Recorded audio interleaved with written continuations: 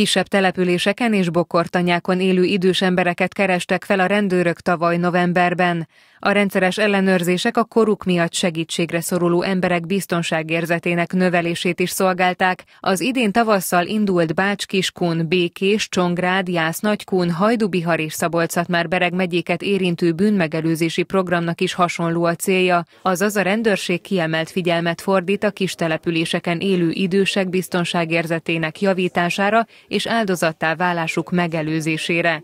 A tavasszal indult prevenciós program egy korábbi projekt kibővített és kiterjesztett folytatása hangzott el a pénteki rendőrségi sajtótájékoztatón.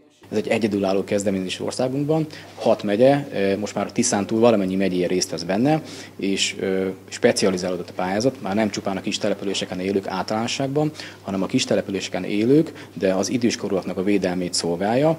Megyénkben van egy általános része, tehát próbálunk elérni minden kis településen élő időskorút, illetve van egy speciális része, ami azt jelenti, hogy 25 kiválasztott település, 25 legkisebb lélekszámú településnek a időskorú, időskorú emberét próbáljuk megszólítani.